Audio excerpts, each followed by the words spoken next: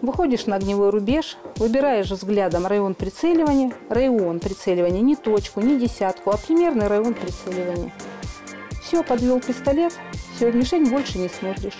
Самое главное сосредоточиться вот на, на мышечных ощущениях, удержать оружие в этом направлении. Для опытного инструктора по огневой подготовке Надежды Карагодовой эта тренировка особой важности. Через полгода экзамен по стрельбе должен сдавать ее сын Степан. И он не ударит в грязь лицом, потому как будет знать все хитрости. Самое главное изучить меры безопасности.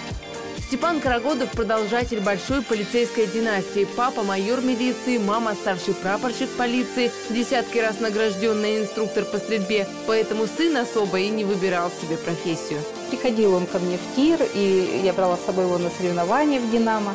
И когда даже э, у нас есть видеозапись, когда он ходил в детский сад, их снимали также, и брали у них интервью, и когда у него спросили, кем ты хочешь стать, когда вырастешь, он сказал полицейским.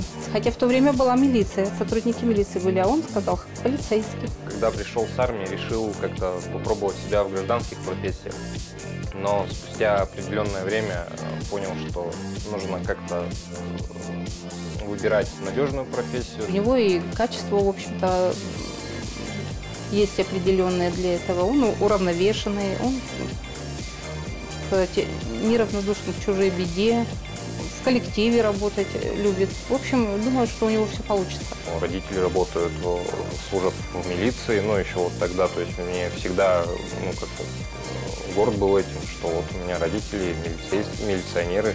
Сейчас Степан, стажер полицейского, активно готовится к службе. Видел, что родителей никогда нет дома, что они полностью отдают себя работе, но не испугался. Сейчас очень спокойно относится к тому, что интересов вне работы у него не будет. У нас разные графики уже работы, мы, мы сейчас и живем отдельно.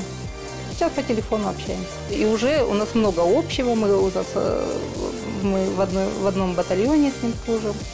И у нас ну, интересы уже более сузились такие в интересах работы. Чита Карагодовых уверена, полицейская династия будет только расти. Уже женат, но да, но она э, работает в, как бы в частной организации. Но она тоже иногда вот у нее бывают такие разговоры, вот хочу работать в полиции либо в МЧС. Она тоже э, представляет, что это такое, потому что у нее папа э, тоже до самой пенсии отработал в МЧС. Также был ненормированный график работы. То есть она знает, что это такое. Девиз семьи Карагодовых – служить на благо государства и его жителей. Работать в полицию, скорее всего, пойдут и внуки, и правнуки, и праправнуки Надежды Карагодовой. Уж в этом она не сомневается.